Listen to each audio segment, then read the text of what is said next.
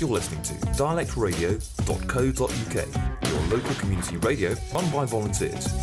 Log on to our website at dialectradio.co.uk to find out more. My name is uh, Christopher Black. I'm a criminal lawyer based formerly in Toronto, in Canada. I was born in the UK, but spent most of my life in Canada. The last 30 years, I've been a criminal trial lawyer.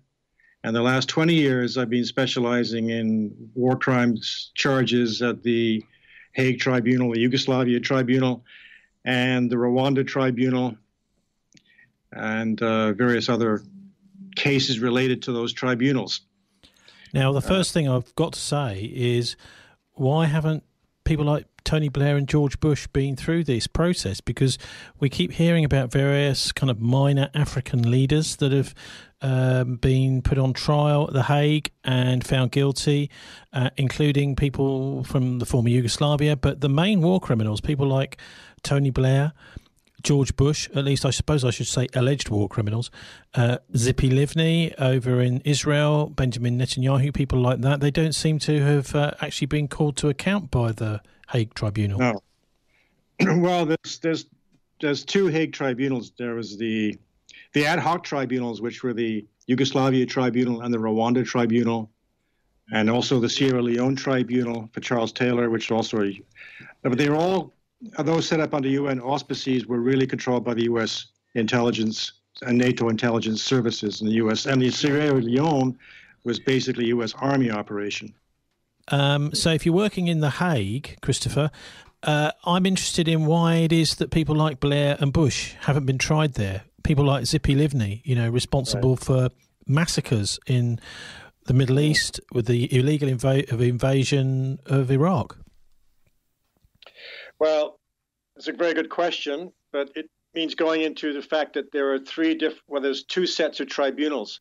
There are the ad hoc UN tribunals like the Yugoslav and Rwanda tribunals in Sierra Leone, which were under UN auspices but really controlled by the Americans and other Western intelligence agencies. And then there's the International Criminal Court, which only has jurisdiction back to 2003.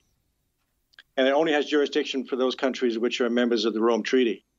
The United States signed on but then withdrew. Russia and China are not members of the treaty. Syria is not. Afghanistan is not.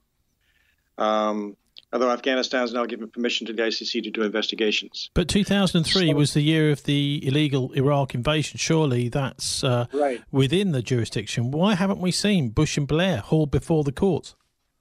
Well, you can you can ask uh, the the uh, prosecutors for the ICC that question, which we've asked, and they won't give you an answer. And it's quite clear that although the United States is not a member of the Rome Treaty and is not a member of that court, uh, it controls the EU and the United States control the staffing of that court, and they control key members of the staff in that court, and they get they really approve the judges, and the prosecutor is appointed by the Americans, no matter that they're not involved in it, technically speaking. Uh, the present prosecutor Fatima Bensouda was a former prosecutor at the Rwanda Tribunal and spent her career covering up U.S. war crimes in Africa. So they control the mechanisms of these tribunals, so there's no way that they can be they can be charged, even if you could assume some sort of jurisdiction. Well, this is worrying, isn't it? I mean, I was in uh, Holland recently and speaking to just an average guy who was running a, a, a fish shop in the Hook of Holland, and he was saying how my father, who's still alive, his father lived through the war, and he said the thing my father always says is that the people in charge in The Hague now were on the wrong side during World War Two. And although his father didn't fight, you know, that's one of the things he's absolutely adamant about that uh, the collaborators with the Nazis actually managed to get their fingers into the government pretty much straight after the Second World War.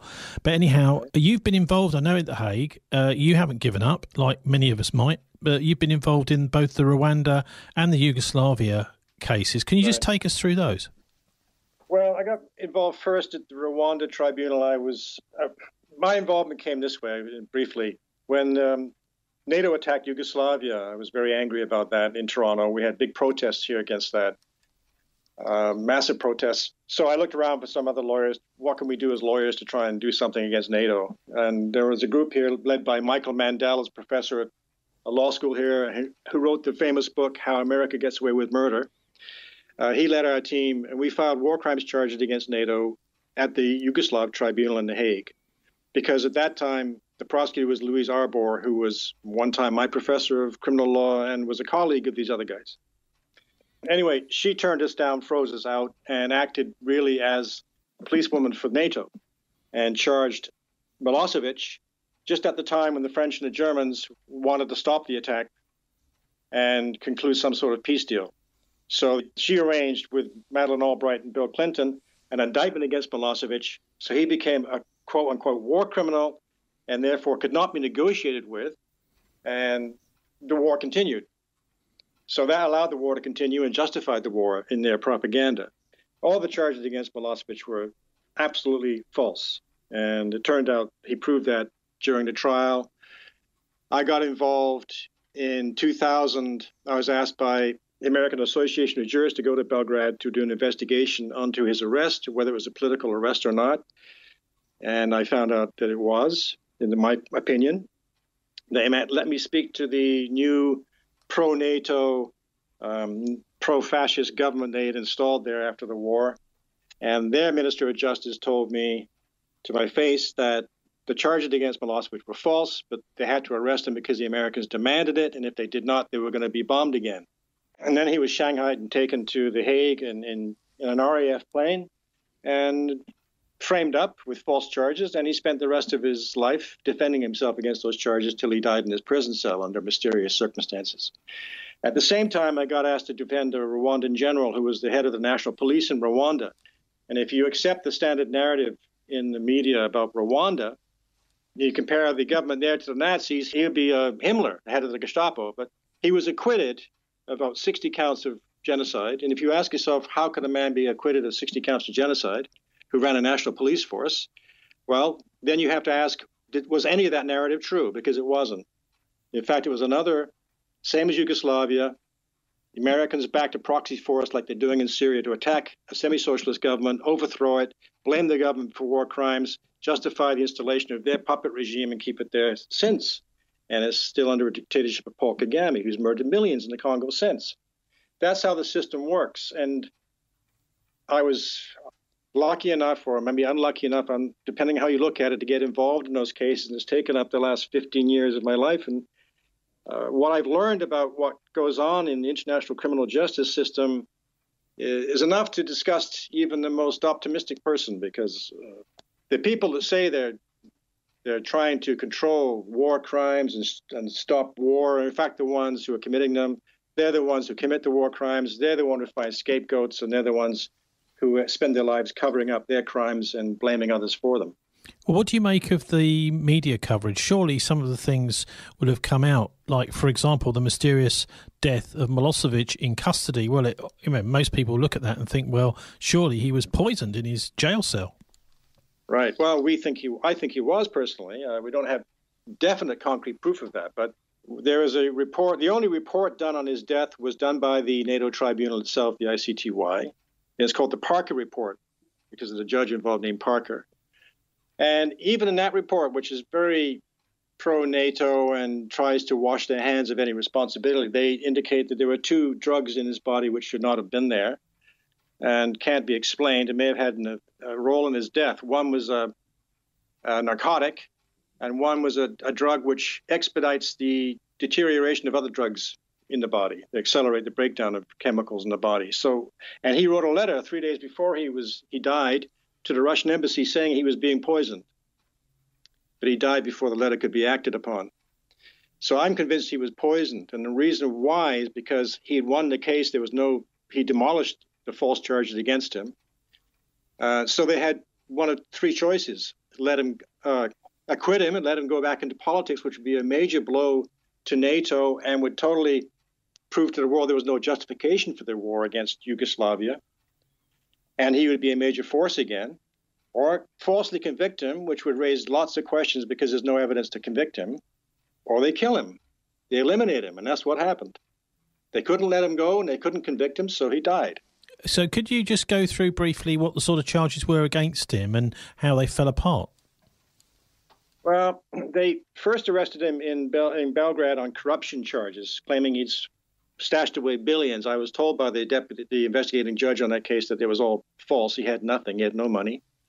At The Hague, they charged him. The, the indictment changed over time. It was initially for some alleged massacres in Kosovo that his forces were alleged to have been involved in.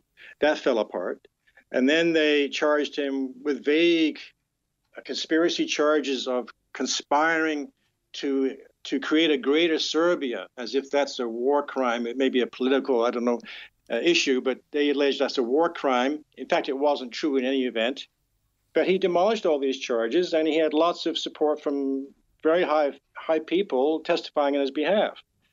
Uh, and all the charges, like Geoffrey Nice, the British prosecutor, um, was lying pretty much every day in, in the court there. He said the Kosovo field speech in which he alleged Milosevic said he was um, was pro-Serbian nationalist speech was actually a very a speech in, in favor of eclecticism and and um, uh, ethnic diversity. It's the exact opposite of what Geoffrey Nice said it was when you listen to it. So the whole case fell apart. There was nothing against it. It was just they were just fake charges to justify the bombing. And the same with the Rwanda tribunal, by the way. That's another story. Yeah, well, no, if you could go into that a little bit too, that would be fascinating. Thanks.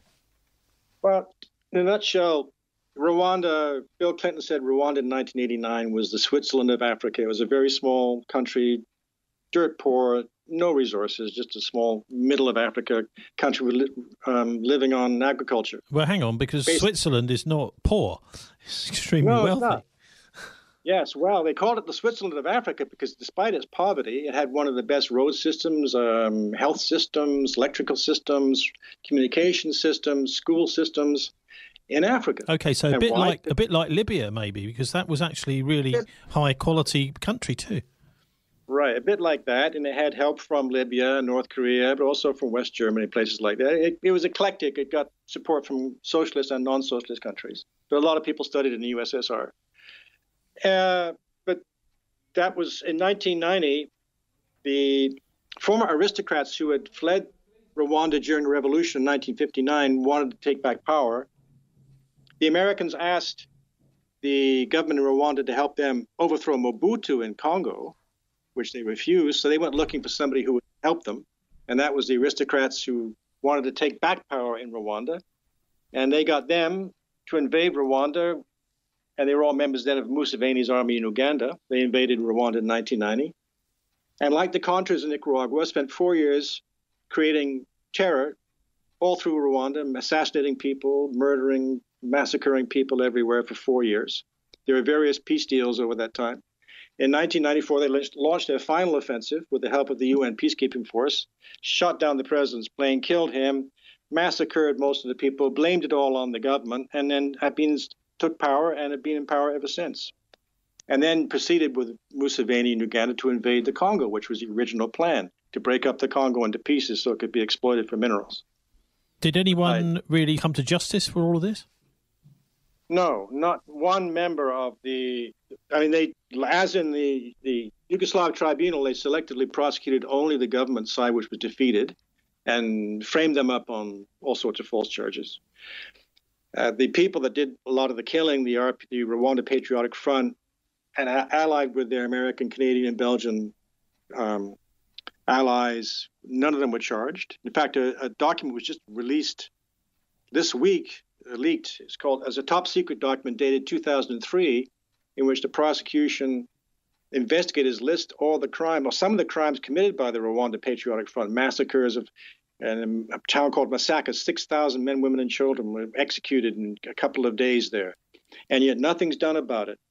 Whereas in Srebrenica, they called for Milosevic's head about Srebrenica, Mladic and Karadzic's head from Srebrenica, but 6,000 people in Masaka, nobody wants to know about it because it's an American, British, Canadian supported regime that they put in power did those crimes. Now I know so you've you've also had a look at um, quite a close look actually at the, the Maidan protests uh, back mm. in tw- oh gosh was it 2014? 2014.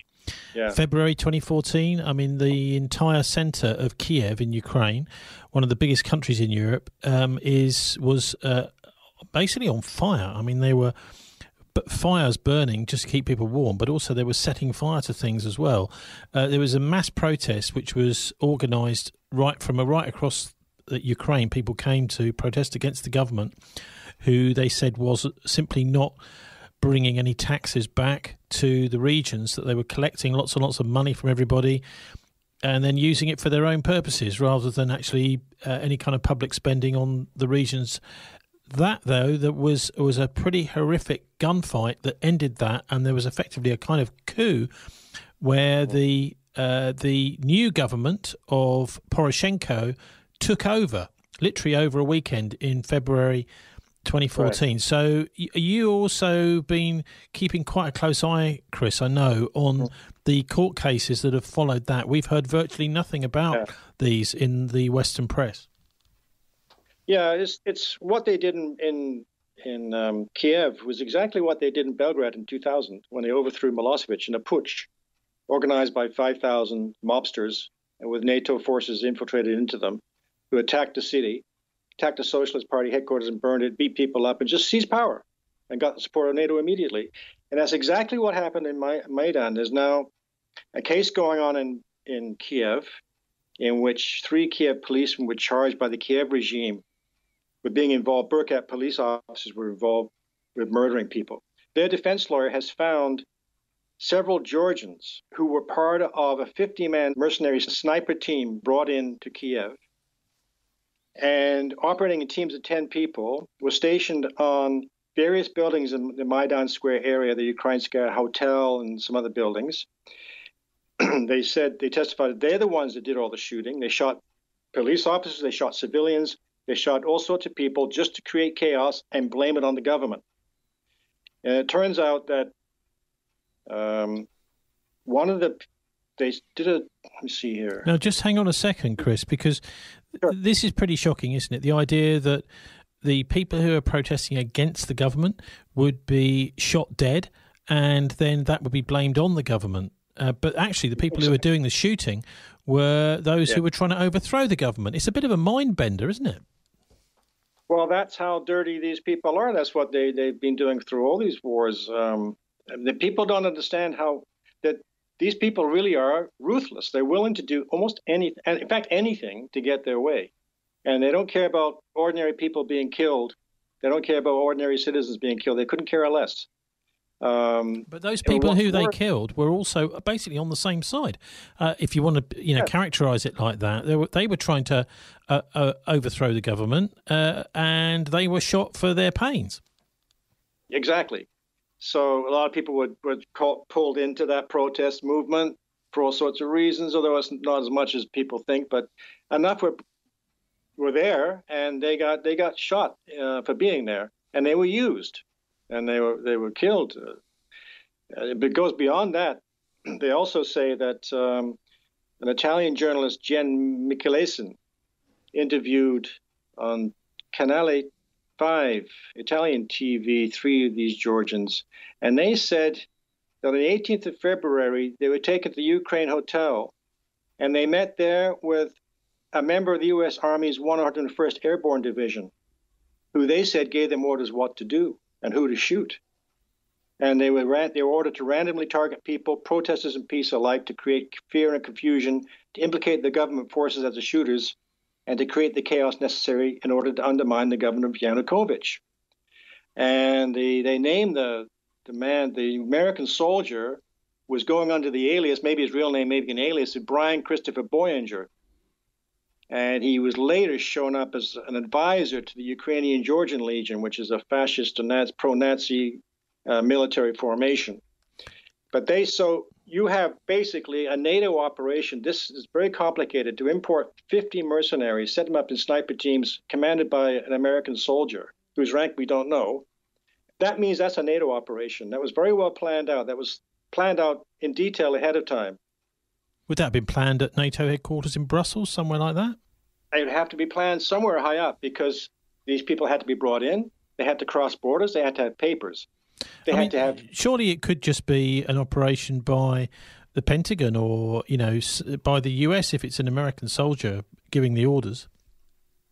Uh, not at that level. When you're overthrowing governments, you can't do that on the fly with uh, amateurs. These people, this is a this is a, a, NATO operation. They were successful in, in overthrowing Yanukovych, installing a puppet regime, their own favorite regime. So it has to be a NATO operation. And the fact that we've now found out at least one American soldier was involved with these sniper teams, and the American ambassador must have known about it because the uh, Mr. Parubiy, who was a member of the Ukrainian pro um, Nazi government after the coup, was at the Ukraine hotel, knew who was there, knew who the shooters were, and was in communication with the U.S. ambassador all the way through the, those days. So well, he, he was also he also took over, didn't he, as the head of the National Security Council?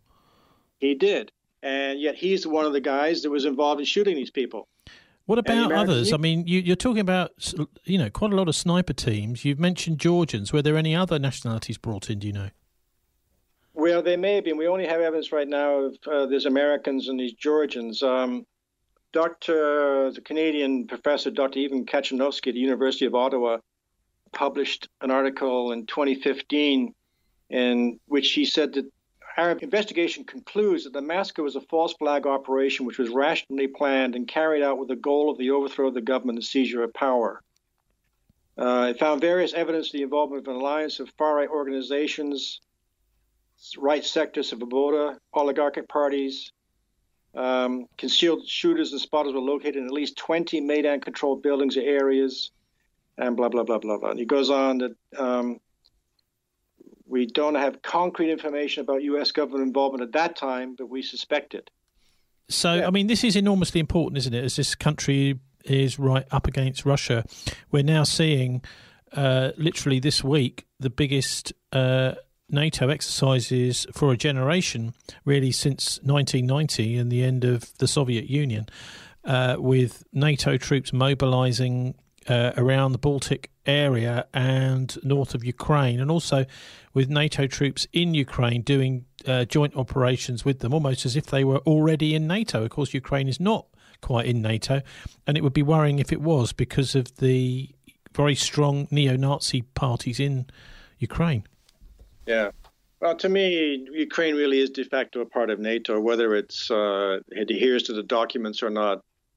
Uh, probably probably won't happen because of human rights concerns in, in, certain quarters in NATO, but it's de facto a NATO satellite now.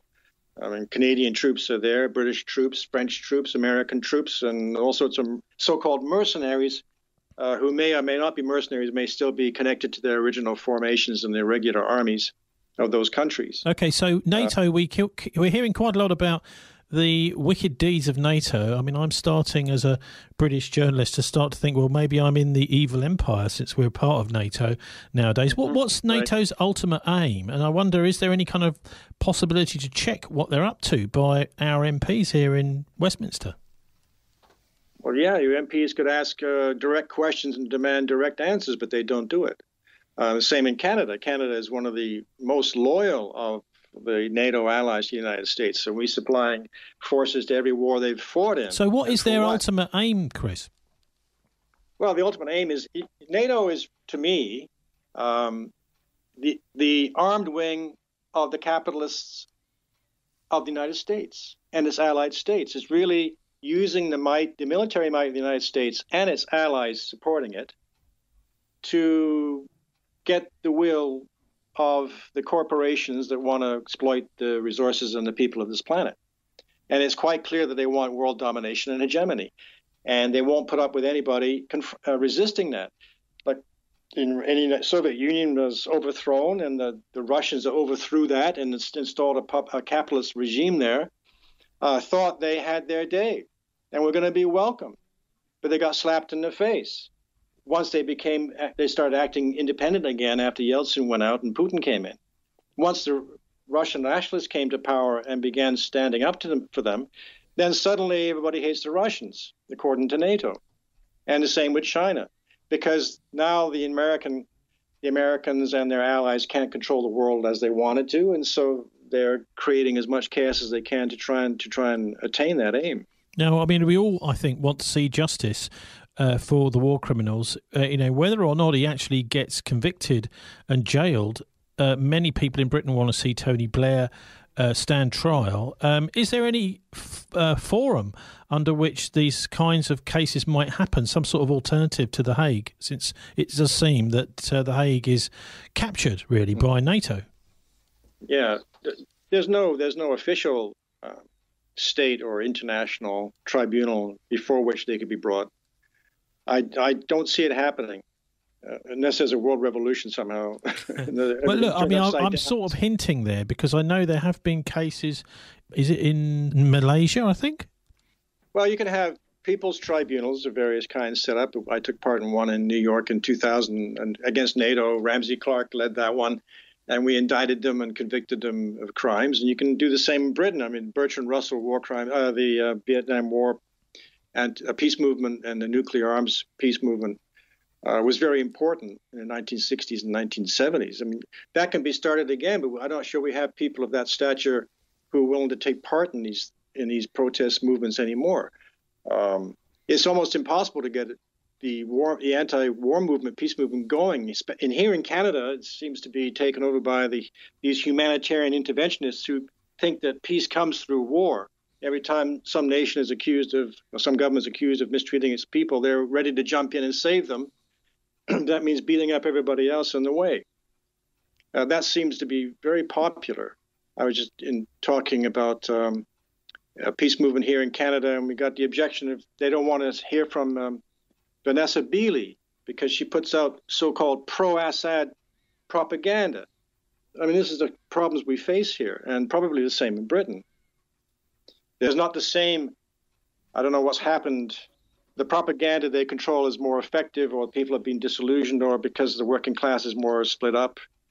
I'm not sure exactly all the reasons why, but the peace movement is not like it was back in 2003 when in Toronto we had 300,000 people protesting the, the Iraq war. Where is that? And you had, I think, a million people in London, maybe more. Where are those movements now?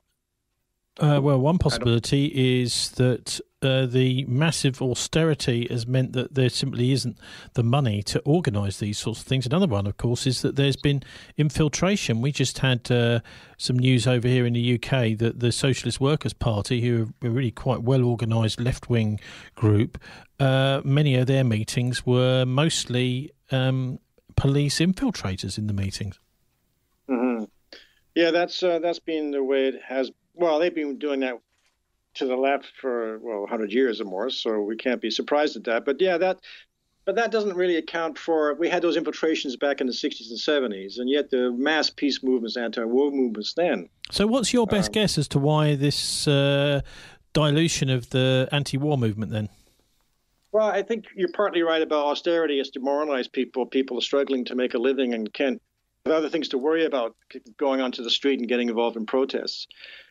Also, the fact that these very large protests we had against the Iraq War in 2003, I mean, they were massive. I think the biggest ever held.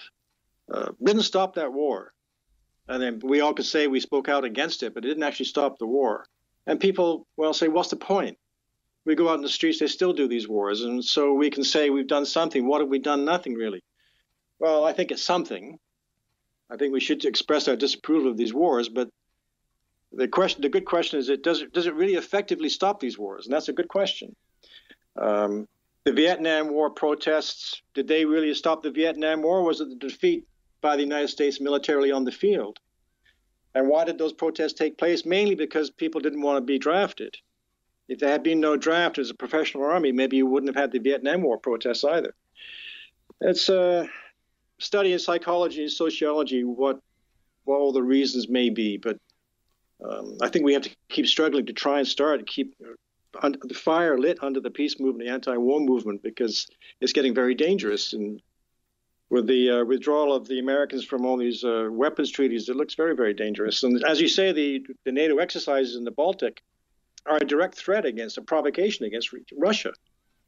I mean, um, they've been threatening the St. Petersburg area and Kaliningrad now for about three years. But surely, I mean, nothing can happen there because it's got to be saber rattling. Because Putin is uh, a bit better defended than uh, people like uh, Gaddafi um, and Assad were. But actually, well, actually, he's a, he's aligned with Assad now. But I'm I'm thinking more about people like Saddam and Gaddafi. They they they were not well defended. Actually, it, you know, the idea of taking on Putin in a similar fashion is surely it, it's suicidal. Well, you would think so, but then uh, when I was in Moscow in 2011 when they were attacking Libya, and it was, it was very depressing. I was myself personally very, very depressed about that and still am. But in Moscow, the mood was very dark. I, I met with some Putin advisors and people linked with the, the party, and I spoke with the Communist Party people as well. The mood was across the board dark and, and depressed. And I, a deputy foreign minister told me that they regard the American leadership as completely irrational and therefore capable of anything. And they said, You'll see us dodging and weaving and bending, and you, when you think we should be stronger and more firm. But you have to remember, we went through a war in which tens and scores of millions of our people were killed. We're not going to get, we don't want to get into another one. We're going to try everything to avoid that kind of war. And you'll see us doing things which you don't approve of. But that's our one goal to avoid nuclear war. But I agree with them. I don't think the American leadership is rational. I mean, you would think that somebody in the military must be, but the way they're acting is completely irrational. And they're building up their forces on the Russian western borders constantly. They're threatening them constantly. And the same with China, and the same with Iran. They're attacking them in Syria. They've actually attacked China. They bombed their embassy in the 1999 attack on Yugoslavia. They attacked China. They bombed the embassy. That's an attack on China. They don't care. I don't. I think we're in a very dangerous situation where the American leadership and are are irrational. Then they're they're just consumed with their own om, omnipotence. I mean, could it be that they're actually working in the interests of uh, another state? That they're not actually, you know, that America at some point might simply be jettisoned um, for what is effectively the interests of other countries. Well, I think the Americans have their own deep interests. Um, you can say that Israel has an influence on them, which is true, but uh, we have to remember that Israel is a very small country and wouldn't survive without for five minutes without the American support. I mean, the, the Israel is a, a very damaging influence in the Middle East. But how does it get its influence? Because of the weapons and the power given to it by the United States. I mean, it was defeated in the 73 war. Its entire air force was wiped out, but they were saved by the Americans flying over their planes and their pilots to, with Israeli markings to, to finish off the Egyptian army finally but otherwise they were dead. Um, so the Americans saved them there, and they saved them all the time. Um, but yes, they do have influence, and they have their own agendas, and they get the American, they pressure the Americans to follow those agendas when they can. But the American leadership have their own deep interests, and they will jettison anybody if it's in their interests. As we see, they—I mean, they're doing it, damaging their NATO ally Turkey. Um, they slapped Europe in the face with all these tariffs. I mean, these are NATO allies, but they don't treat them like they're friends. What do you make of Brexit? Is it a storm in a teacup, or do you think this is quite significant, Chris? Well, I, I myself, if I'd been, uh, if, if, overseas British had been allowed to vote, I would have voted for Brexit myself. Um, why? Because I, like many, I'm a Marxist, and like many of us, when the EU was first formed, we thought the Marxist idea of, of uh, the bigger the machinery, then when we take over, it'd be much easier to control the entire machinery of, the, of all of Europe. We could have a revolution in the entire Europe, European theater. But instead, what happened, the EU turned into really a, a neoliberal, semi fascist organization which is imposed on the working people across Europe all sorts of austerity measures. It has just lowered the working standards, living standards of everybody in it, and was promising prosperity. So, for my, myself, I thought if the British working class can escape that, they have a better chance of dealing with their local uh, ruling class uh, than they do trying to fight with the other Europeans, the entire dominant of German, French, British uh, capitalist class all lumped together. Maybe I'm wrong, but that's what I think. So I think it's a good thing, and I, I think when they called the referendum, they, they expected to, to, to not to win. I don't think they wanted them to, to vote for Brexit. And when it became, it looked like that's what's going to happen. They started panicking because they don't have a plan, obviously, but they're forced to go through with it. So I, I, it shows their stupidity, really, and their misreading of the people. Chris, look, one of the big problems has been uh, we've touched on it quite a few times is the the press, the media. Um, is there any way do you think to uh, or even specific websites you recommend in order to try and get uh, another more accurate view, a more balanced view of what's going on in the world? Because the trouble is so much of our uh, mass media is, uh, you know, kind of corporate media, which is in bed with the uh, problematic governments who are squirreling away their money in tax havens and see their readers as people to be told what to think and influenced rather than uh, people who are appreciating decent journalism. Yeah, well, there are many independent journals or blogs on, on as you know, on we can go to Counterpunch. We can go to Global Research in Canada, which is almost like a vacuum cleaner, clean um, information clearinghouse, and um, Greanville Post, uh, 21st Century Wire. Just just my one I write for New England, New Eastern Outlook um, does some good stuff. Some and there are many thing many small journals like that which people can access um, still on the net. Although the Washington Post has listed them all a couple of years ago and accused them all of being Russian agents, and therefore was threatening to shut them all down. Um, so there are these journals, but I'm afraid to say that although when we read them and we talk to each other, we think everybody's reading them. The fact is, I live in a small town in Canada. Nobody reads them where I am. Uh, everybody reads the mass newspapers and the usual mass TV channels. They get their news from CNN, the CBC, the BBC the Guardian, and so on and so forth, and the Telegraph and the Daily Mail.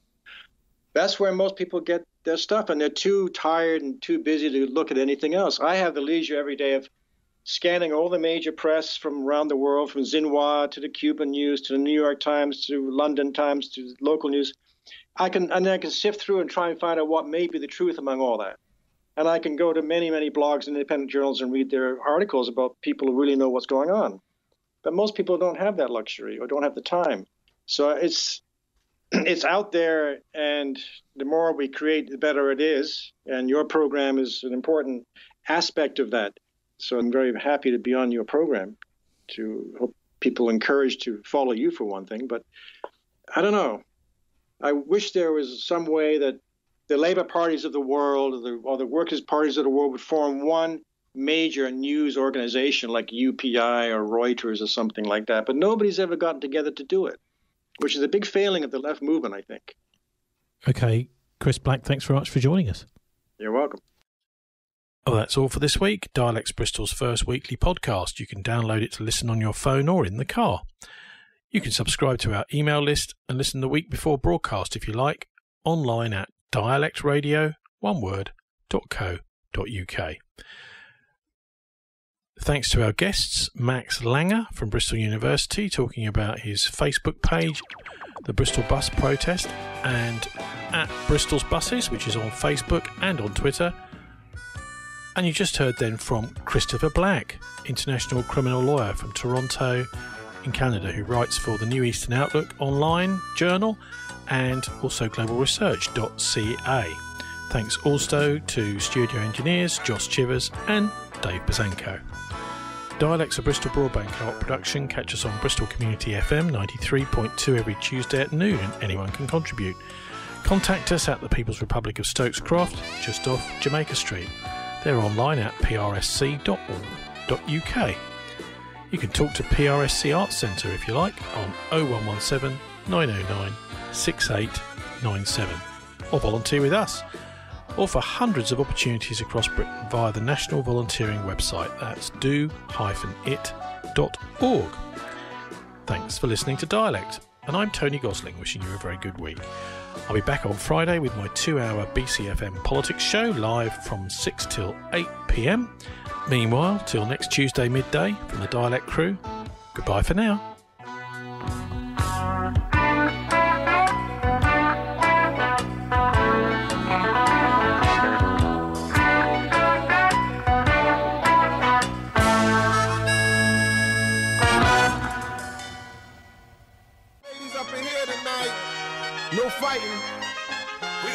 No fighting.